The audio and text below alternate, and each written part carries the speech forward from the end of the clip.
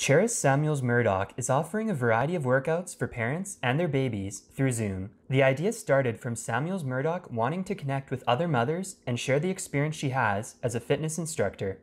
So, the workouts that I have planned, it's a six week class and it's a combination of like accessible, so a little bit um, like boot camps, core strengthening, a bit of yoga in there. Um, so they change every week just to give some fun and variety, but also not to be like competitive, but just you know to get moms to socialize or dads um, to socialize and just um, be active no matter what ability they are. Samuels Murdoch does the workouts with her son Dylan, and she is encouraging parents to keep an open space for their babies during the workouts.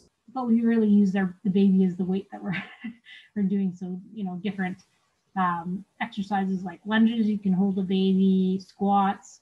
Um, if you're doing a downward dog, placing them down on the mat in front of you and kind of, you know, leaning over them. They just any inter- interaction with them. Samuels Murdoch says that she wants to create a fun community and maybe connect with some other moms, um, and then going forward, having a little kind of group, active group that we could go out come spring. The courses run from January 13th to February 17th. For Bridge City News, I'm Micah Quinn.